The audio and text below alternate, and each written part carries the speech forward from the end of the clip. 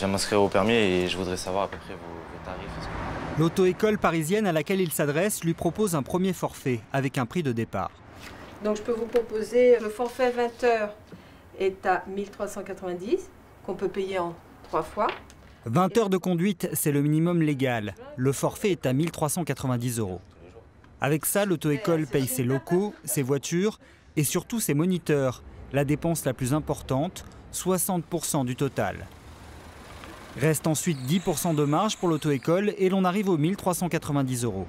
A priori, c'est un prix acceptable pour Raphaël. On m'avait même dit que c'était plus cher, on m'avait dit 1800 euros. Ouais. Donc euh, ça va, 1390 c'est déjà un peu moins cher. D'accord. J'avais prévu un bon budget quand même. Le problème, c'est que Raphaël ne va pas payer ce prix-là, mais beaucoup plus. Car avant de s'inscrire, il va passer un test qui détermine le nombre d'heures dont il a vraiment besoin et donc le prix du forfait. C'est l'embrayage qui fait partir la voiture. hein. Donc lâche encore, C'est parti pour Raphaël, il est débutant et ça se voit. et là tu freines. trop fort. Oui, c'est un peu brutal quand même. hein. Voilà, on embraye. Et on Bon, voilà. T'as un petit peu de mal à tourner le volant. hein. Mets ta deuxième. Oui, c'est pas la deuxième ça. hein. Là tu m'as mis la Ah ouais, troisième. j'ai mis la troisième. Ah, ouais. À la fin de l'évaluation, Raphaël va savoir à quoi s'en tenir. Il a du travail avant de pouvoir se présenter au permis. Par contre, au niveau de la pratique, je vais mettre environ 30-35 heures. Ok D'accord.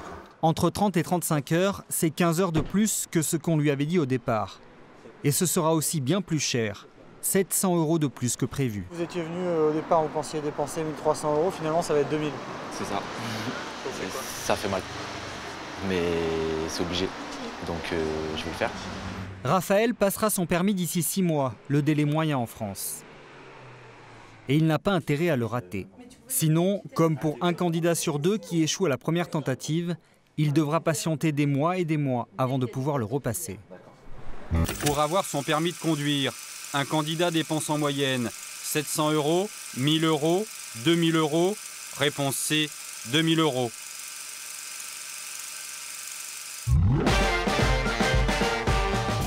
2000 euros dépensés en moyenne, l'équivalent de 2 SMIC.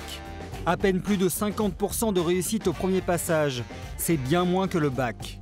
6 mois minimum avant de pouvoir le passer, parfois encore plus longtemps pour le repasser quand on a échoué.